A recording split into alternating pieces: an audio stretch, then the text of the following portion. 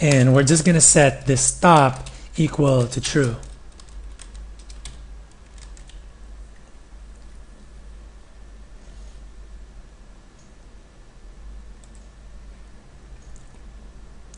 And again, I'm just showing you a different way of programming.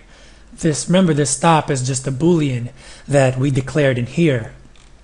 And what this stop is going to do is it's uh, so let's go on over here. Now once once this block of code is done, it either set the file and set the data or it just printed out you canceled the VIM and just set stop to true. Now if not stop, we're going to keep going.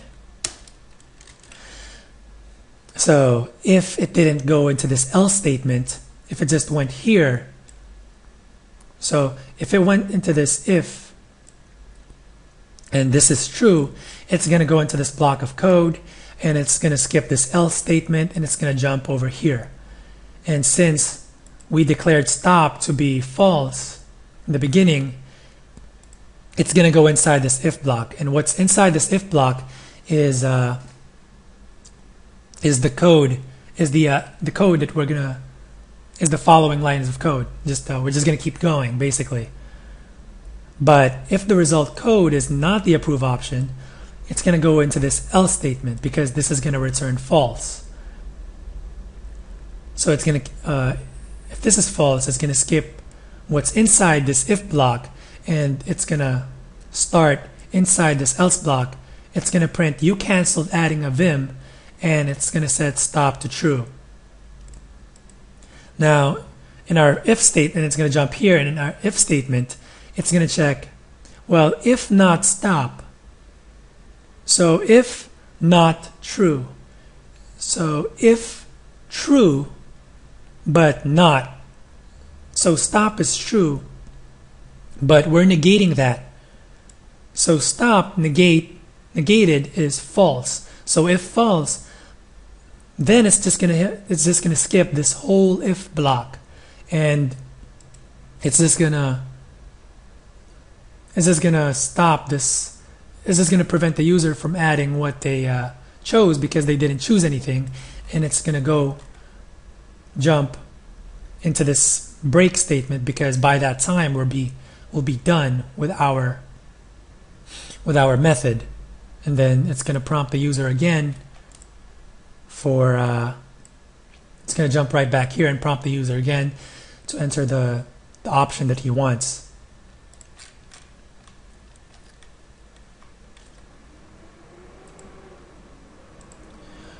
But otherwise, if the user did choose a, uh, a file, we're going to do the following lines of code. we're going to set our file input stream to a new file input stream. And this takes in a file, which remember we set here.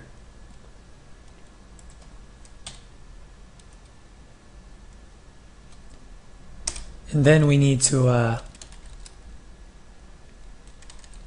we need to read this file dot read the data read it into the data Why is it giving? Okay. And then we need to close the uh, input stream. And we're done. Now it's giving us an error because you need to surround this with a try and catch. Uh, just copy and paste this inside inside this try so it looks neater. It's still going to give you that that error because it's still going to you're still going to need to add a catch clause to surrounding try. Just going to add that in there. Now what this line of code is doing is it's taking our file, the file that we gave it. Remember, we created a file. Remember, we uh, uh, the user chose a file. Now this file input stream is now containing this file. It's now streaming this file. It's ready to uh, stream it. It's ready to stream the file. And what this read method is doing is it takes in a uh, byte array. And remember, this data is just this byte array that we set up. And we gave it the maximum length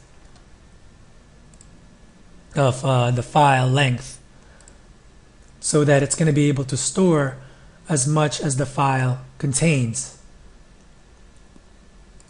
And what this is doing is, if you read the documentation, it reads up to b.length bytes of data from the input stream into an array of bytes. So what you're doing is, uh, what you're doing is you're converting this file, this MP3 or this uh, JPEG or this video file, whatever file it is, and you're converting it into its byte array representation.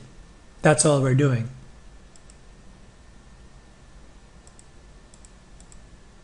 Now, once we're done with that, we basically have all our information, all the information that we need to create our, to instantiate our Vim object. So Vim equals new Vim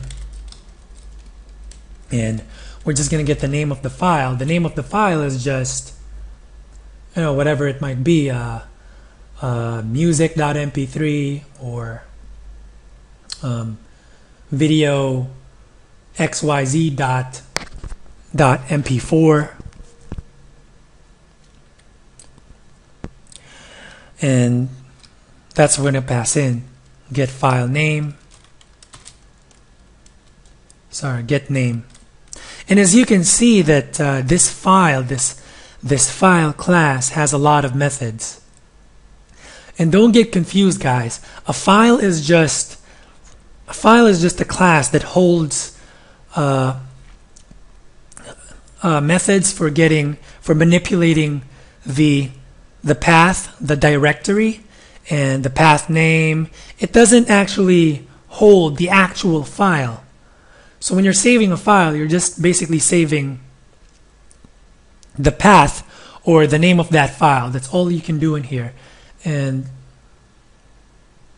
yeah, so the the the file class is doesn't hold the actual data for the file. It doesn't hold the actual music file or the actual video file.